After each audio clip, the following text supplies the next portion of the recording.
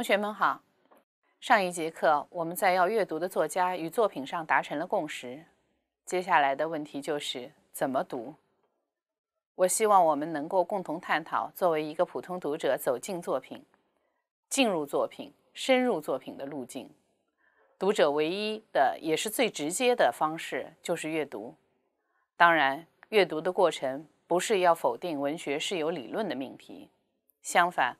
我认为文学有理论，不仅有理论，甚或还有技巧。理论的意义在于，它会大致规定一个时代的价值观，因而也会成为让后人突破的具体界限。而且在突破之中，我们既会看到相当绚丽壮观的斗争场景。应该说，我们即将解读的这九位作家和他们的主要作品，正是呈现了这样一种突破，以及突破所牵连的。无奈、无力和悲伤，但同时也有希望、向往和勇气。不否认文学理论的存在，但是我想绕过理论的角度，绕过那种自上而下的俯瞰角度，航拍的作品有一种全局的美，总是那样一种大块的绿色、蓝色或者黑色。可是，也许我们容易错过在这一大块色彩里某一个小点背后的故事。有时候，我情愿相信这个小点有可能会影响到人的一生。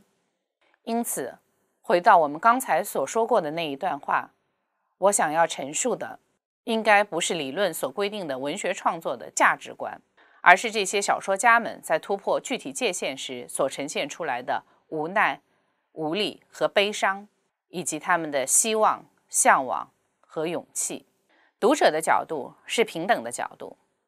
或者也许是微微仰视的角度，是在他人的小说世界里读到自己的梦想、等待和破碎，然而总会觉得微微的有点不解和疑惑，不知道为什么先前从来不曾发现过自己，竟然还会有这样的梦想、等待和破碎的角度，是准备好出发，和这些精心构建的文字彼此交缠、肌肤相亲的角度。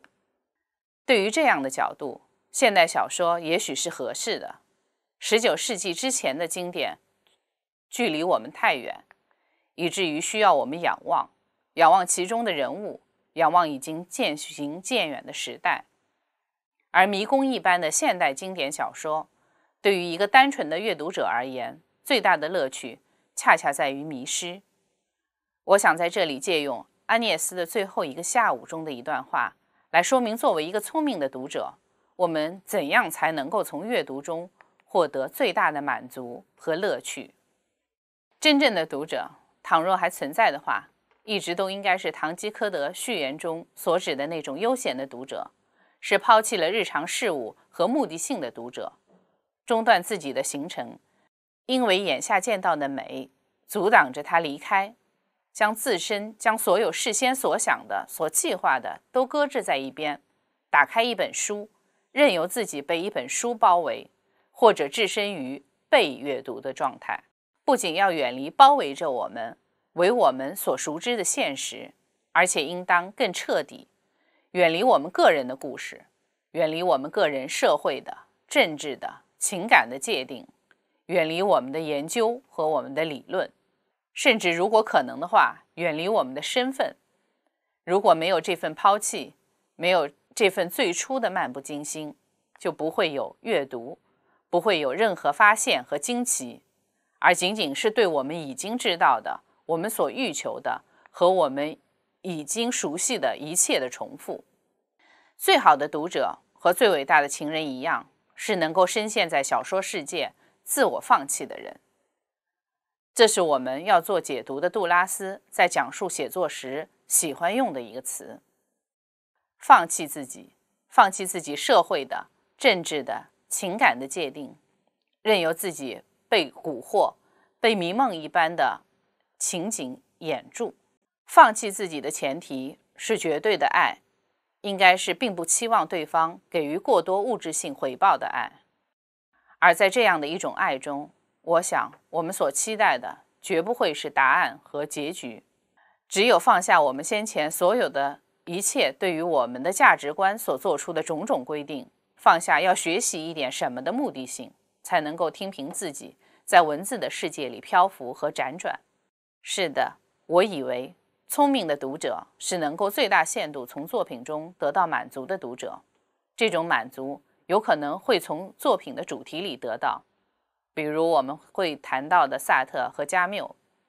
但是不要总往大的地方去看，哪怕主题已经给了你足够丰富的思考和感觉，也不要错过你走上岔路时遇到你所不曾期望过的一片风景给你带来的震惊。和感动，作品里的一个段落、一句话、一个词，就能够给你带来一种颠覆性的快乐，就能令你在某个午后，在纷飞的大雪中，或是透过树叶照射下来的斑驳的阳光中，忘记城市里还有其他的东西存在。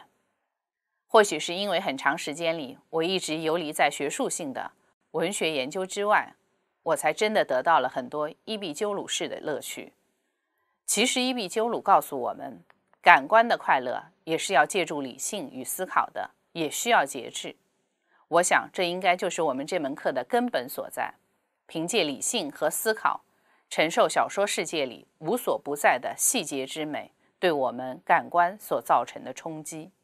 在我们的教育中，我们可能或多或少在所谓抓住中心思想的训练中，丧失了读书的乐趣。但是我希望能有机会。让大家尝试一种所谓细节的乐趣。纳博科夫说过：“细节优于概括。”作品，哪怕是公认的伟大作品，也不见得是因为其宏阔的、催人向上的主题而不朽的。时代在变，所谓理想道德的标准也始终会变，并且，即便有了宏阔的主题，没有细节之美，也许始终无法成就不朽。关于细节之美，最世俗，同时也是大家最熟悉的例子之一是张爱玲。很多年前，我也喜欢过她，喜欢她充满热情地描绘这个世界的红绿搭配。和大多数人一样，我不会向往《倾城之恋》里白流苏和范柳原的爱情，但是在我十七八岁的时候，却怎么也抵挡不了这样一段描写。在这动荡的世界里，钱财、地产。天长地久的一切，全都不可靠了。靠得住的，只有他腔子里的这口气，还有睡在他身边的这个人。他突然爬到柳原身边，隔着他的棉被，拥抱着他。他从被窝里伸出手来，握住他的手。他们把彼此看得透明透亮，仅仅是一刹那的彻底的谅解。然而这一刹那，能够让他们在一起和谐地活个十年八年。隔着棉被的拥抱，一刹那的彻底谅解，十年八年的和谐生活，这个细节给我的震撼，在后来竟然演变成我对婚姻的注解。我们要讲到的罗兰巴特说：“不是文本模仿生活，而是生活模仿文本啊。”我提到过罗兰巴特，也并不是说要说我们在这门课上会采用结构主义或者解构主义的批评手段，我更不会把某个文本。拆分离析出若干的要素，像罗兰巴特本人所尝试的那样。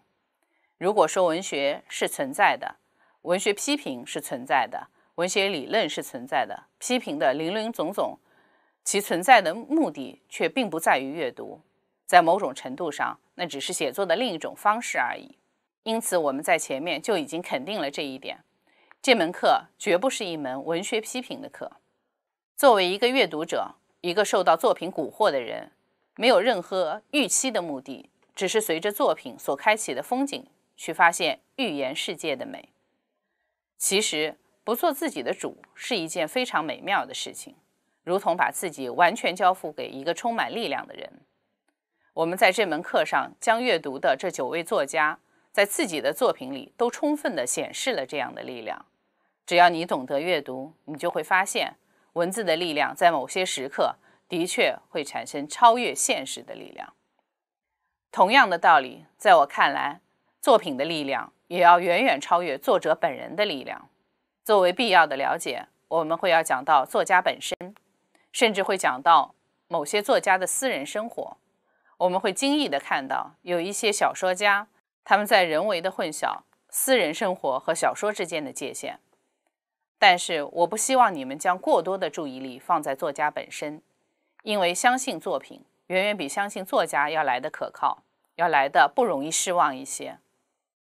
不要对着作品里的人物顾影自怜，同样也不要参照这些作家去生活，要让他们笔下的梦幻世界永远成为和我们现实世界并行的世界，完好无损。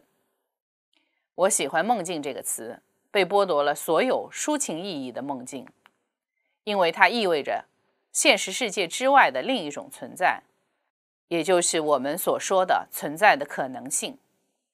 追忆似水年华的晚会是一个巨大的梦境，是现实、未来与语言世界共同奏响、彼此走向不同、出路也不同的梦境。